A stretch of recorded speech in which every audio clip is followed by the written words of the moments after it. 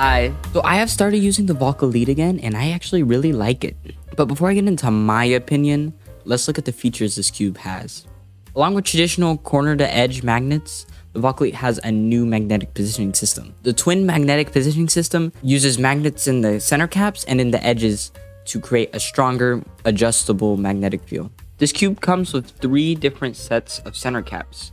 One is red, which is the strongest magnet, one's clear, which is medium, and one is green, which has no magnets, which of course is the lightest.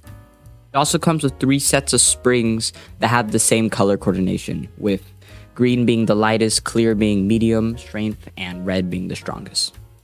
The performance of this cube is great. It can corner cut basically everything, and it's pretty stable as well.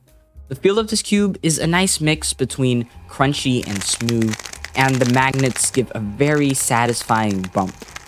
And of course, finally, the most important feature are these amazing picture cards, bro. See, look at that. So, so pretty, man. So amazing. Who doesn't want a picture of Mats Valk? I know. I, I'm gonna keep this one for myself. It's. I love Mats Valk. I really like this cube. I find it really satisfying and refreshing, and you know, it's, it's something different you know, it's different from what the cubes that we have nowadays. Of course, this is what like three years old, but I say it's still really good. As you can see, I used the cube on the strongest center caps, which is red, and clear springs, which is medium strength. This setup makes the cube pretty controllable, and it's also still speedy, so I can so I can turn up my fastest if I want to. I also use an angstrom setup, which I actually really like in this cube. I think it works very well. I'm not a very fast turner, so I tend to rely on my look ahead, and the Valk Elite helps me do that because of its controllability. Think of it like this. The Valk Elite is kind of like the manual mode on a camera.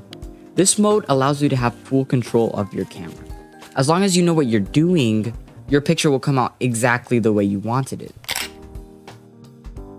Other cubes like the GAN 12 are like auto mode. This mode will automatically set all your settings for you, kind of like how the 12 finishes turns for you. These auto mode cubes are getting really good to the point that they are just as viable as normal manual mode cubes.